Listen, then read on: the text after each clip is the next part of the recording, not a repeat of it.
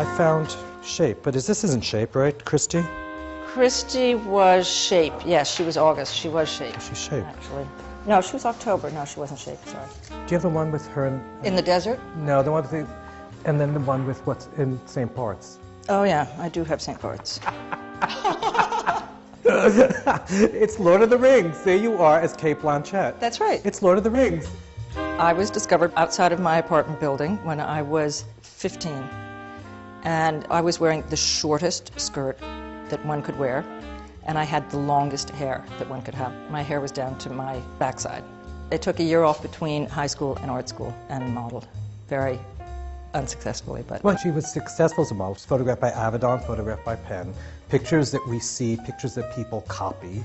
You know, so she was successful. She hated it. Which really speaks to the way she is. Anyway, it's like always behind the scenes. I worked with Diana Vreeland at the Met for starters. Then I went to the New York Times Magazine section with Carrie Donovan. My first assignment was a story with Helmut Newton. From there, I went and started freelance styling. And then I worked with Calvin.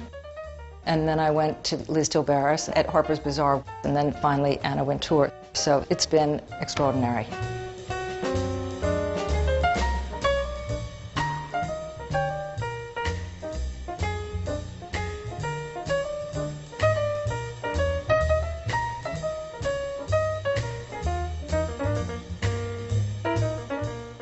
The inspiration for you comes from everything in life. We could probably go around the house and find all the things that influence the photographs.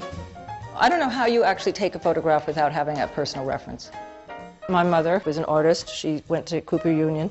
She's a very good watercolorist. And she took us to museums all the time. I used to live at the Museum of Modern Art. And she just has enormous innate style. There's my mother in her with her white gloves. I also have white gloves on. And I'm looking up to her, and that says it all. Here is classic Tonne Goodman.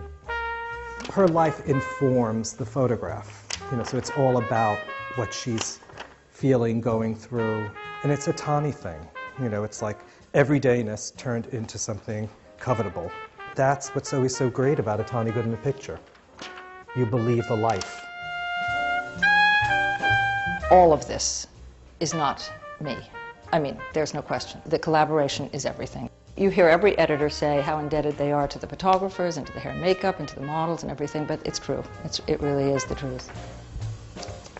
I do love you modeling. I think it was a big mistake to quit. Yeah? Yeah. It really, really is.